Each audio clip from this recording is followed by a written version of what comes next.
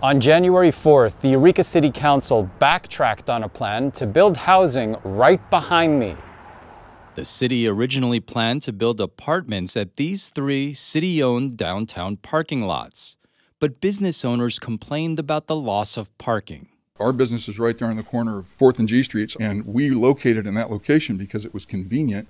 We have thousands of clients who come from all over and come to Eureka. They come and park, meet with us, drop things off, pick things up. Um, and so the idea that parking is particularly essential for our business, most of our clients candidly skew a little older than average, and so longer walks are more of a problem. To accommodate parking advocates, the Piersons offered to give the city their residentially zoned, mostly vacant land located between Winco and the mall. The city would build housing on that property. In exchange, the Piersons would acquire the downtown lots and preserve parking. But opponents of the switcheroo envisioned housing on both properties.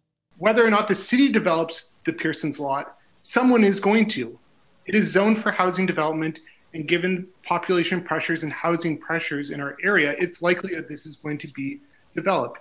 I think that what we're doing is we're functionally removing three areas and a really prime part of our city from future housing development. That plea fell on deaf ears. The city council voted 4 to 1 to exchange the properties, in part because city staff determined more units could be built on the Pierson property compared to the downtown lots.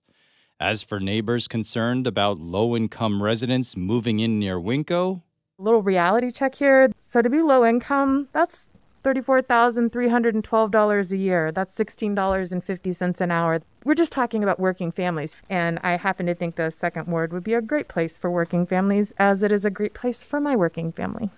While working families can look forward to future housing at this site, some housing advocates say the property swap violates the city's general plan. They're threatening to sue over the switcheroo.